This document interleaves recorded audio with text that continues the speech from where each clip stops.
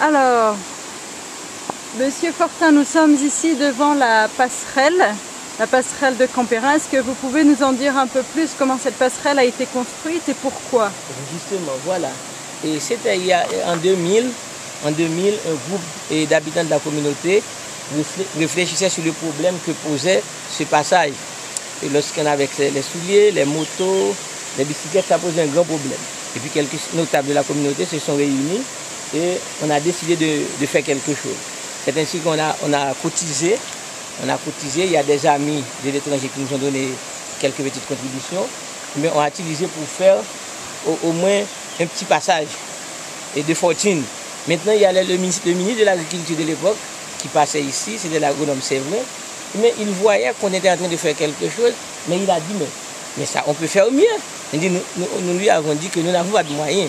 Alors c'est ainsi que il, allait avoir un projet de l'Union européenne, le projet de développement PRD, PDR, le projet de développement rural. Et eh il nous a demandé de préparer un document et transmettre ça au ministère de l'Agriculture. C'est ainsi qu'on a préparé et, euh, le document, on a préparé pour la passerelle avec les ateliers comme de Camperin. On a remis ça au, gouvernement et à travers l'Union européenne, on a financé mais ce passage et cette passerelle qui joue le rôle de désenclavement pour toute la communauté. D'accord.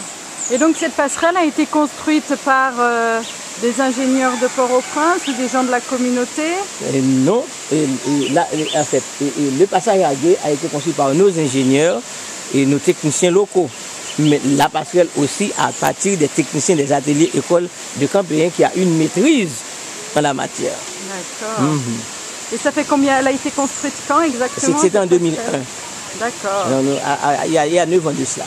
D'accord. Ah, ah. Et donc elle est très utilisée par la communauté Très utilisée par, par, les gens de la communauté. Vous voyez, il y a aussi une autre rivière qui se trouve là-bas. Les gens de Somatirine, et eh quand la rivière est en crue, et les gens de Somatirine passent ici, et parce ici il y, a, une petite voie interne, et puis ils montent, ils montent à Somatirine.